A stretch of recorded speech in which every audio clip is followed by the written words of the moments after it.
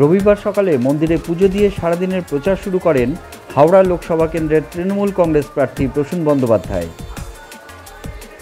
এদিন তিনি সকালে রাজ্যের খাদ্য প্রক্রিয়াকরণ এবং উদ্যান পালন দপ্তরের মন্ত্রী অরূপ রায় এবং হাওড়া পুরসভার প্রশাসক মণ্ডলীর চেয়ারম্যান সুজয় চক্রবর্তীকে সঙ্গে নিয়ে মধ্য হাওড়ার পঞ্চাননতলা মন্দিরে আসেন। সেখানে বিগ্রহে মালা পরিয়ে পুজো দেন। এরপর হুটখোলা জিপে প্রচার শুরু করেন।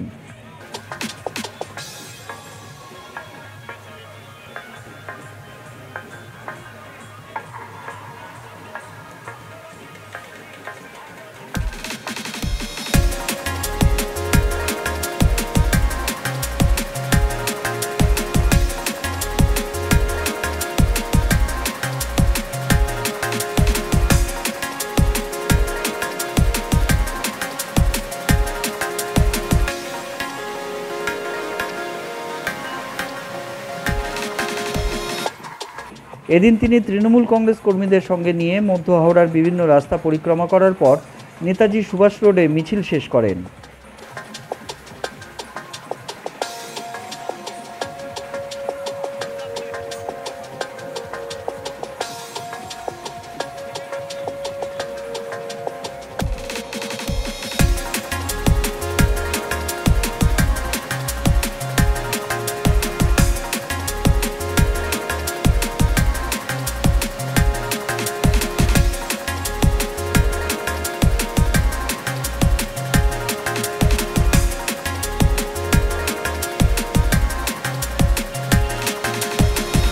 এরপর সাংবাদিকদের সামনে প্রসূন বন্দ্যোপাধ্যায় নাম না করে বলেন, বাইরে থেকে এসে এখানে মাতব্বরি করা চলবে না।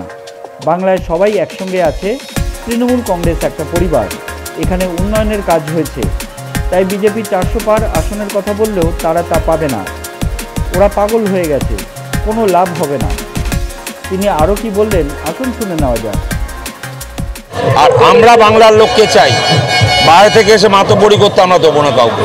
বাংলা বাংলায়। বাংলা আমাদের প্রিয় জিনিস। হিন্দু মুসলিম শিখ সাই বাঙালি সব এক হয়ে চলে।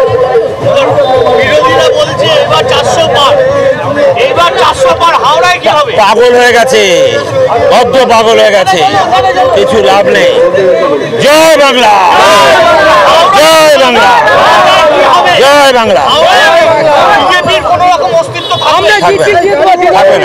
তোকে বলছি থাকবে।